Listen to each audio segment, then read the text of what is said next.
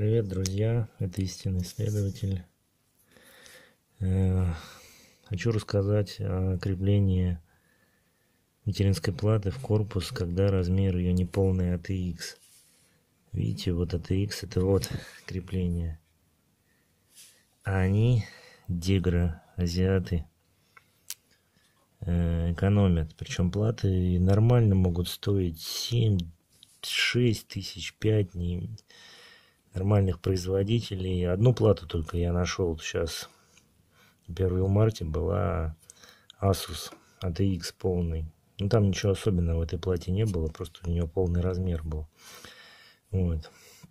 И здесь просто винт, гайки. И крепим за краешек такой гайкой с расширенной площадочкой. Э, в этом месте самый э, нагрузочный разъем, который продавливает сильно плату. Здесь на краю 2 они сделали гигабит. Э, здесь я не стал крепить, потому что ну, у самого края рядом есть.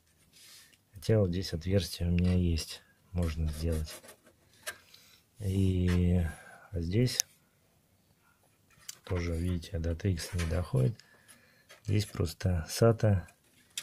Э, нагрузки большой нет, как я понимаю. Нет смысла этот винт крепить. Сейчас попробую. Ставим. Так.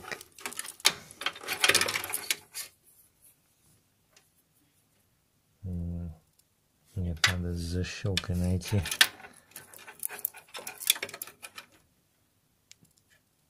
Так. Вот так. Не, нормально. Вставляется. Ничего не гнется. Здесь выдерживает.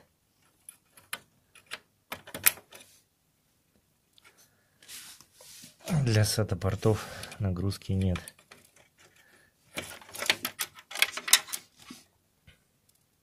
Вот такой вот способ крепления.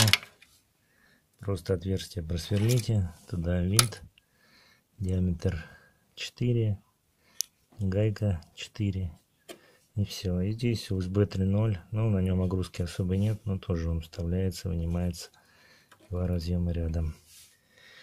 Хотя на самом деле производители просто здесь должны были сделать отверстие или здесь и где-то с краю ну или хотя бы вот здесь вот сделали, там места нету, им не хватает.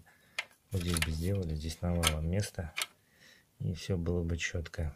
Но азиаты экономят. Причем, как я сказал, платы это бывает и не дешевые вполне.